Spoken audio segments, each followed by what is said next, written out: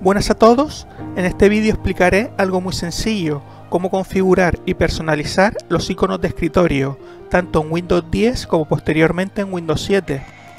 Normalmente cuando instalamos Windows, el único icono por defecto que nos suele aparecer es la papelera de reciclaje, por lo que si queremos colocar otro como el del equipo o la carpeta de usuario hay que activarlos. Esto en Windows 7 era bastante sencillo, pero en Windows 10 la opción está algo más escondida, por lo que puede que no todo el mundo sepa cómo llegar hasta ella. Para ello simplemente tenemos que hacer clic con el botón derecho de ratón en el escritorio y en las opciones que se nos dan a elegir escogemos la que dice personalizar. Ahora en la ventana que se abre buscamos a la izquierda la opción que dice temas y le hacemos clic para entrar en ella. En esta nueva ventana, si miramos a la derecha de la pantalla, veremos un link que dice configuración de iconos de escritorio, por lo que lógicamente es donde tenemos que hacer clic. Al hacerlo se nos abre esta ventanita pequeña y si nos fijamos en ella se nos deja marcar qué iconos queremos que salgan en el escritorio.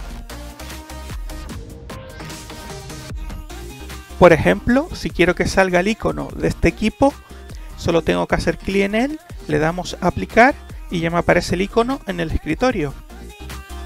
Lo mismo podemos hacer con el resto de iconos, como el de la carpeta de usuario, que suele ser también muy útil tenerlo en el escritorio. Ya lo que es el icono de red y panel de control, yo no los coloco porque no le doy un uso frecuente, pero si queréis tenerlos en el escritorio, solo hay que marcarlos.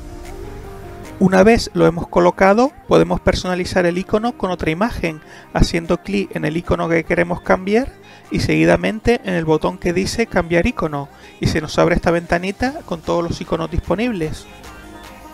Por ejemplo, voy a cambiar el icono de este equipo por este otro y también modificaré alguno más.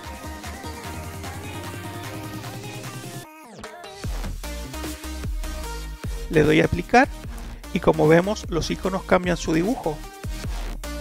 Luego, en el caso de que quiera volver a dejarlo todo como estaba por defecto, solo tengo que hacer clic en el botón restaurar valores predeterminados y todo vuelve a su estado original.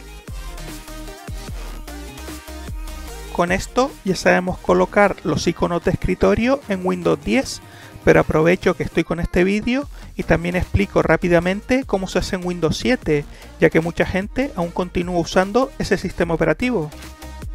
Para ello me he ido a un PC más antiguo que tengo, disculpad que lo grabe con la cámara, y el proceso es muy parecido.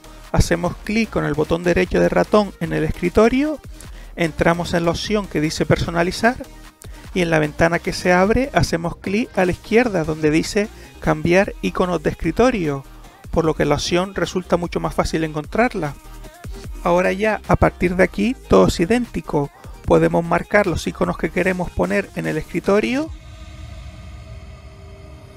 y también personalizar su diseño cambiando la imagen del icono.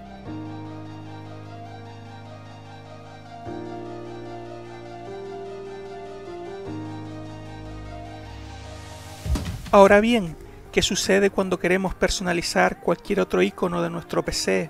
Por ejemplo, si creo en el escritorio una nueva carpeta o hay cualquier otro icono que quiere cambiar su dibujo. En ese caso, simplemente tenemos que hacer clic derecho sobre ese icono. En las opciones que nos aparecen, seleccionamos la última que dice propiedades. En la pequeña ventana que se abre, nos vamos a la pestaña que dice personalizar y ahora solo hay que hacer clic en el botón que pone cambiar icono y ya podemos escoger el que nosotros deseemos. Y ya con esto termino el vídeo. Espero que os haya resultado útil si estabais buscando cómo se hacía. Si es así podéis darle a like o si tenéis cualquier duda dejadla en los comentarios y no olvidéis suscribiros. ¡Hasta luego!